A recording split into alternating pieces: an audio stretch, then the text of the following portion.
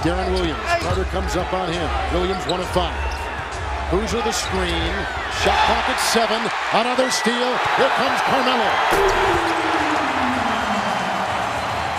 Good personal foul for Denver. Carmelo Anthony get aggressive there. Double team, gets his hands up in the air. You get a deflection. That time it created the offense for him. Interestingly enough, it was Melo himself makes the defensive play.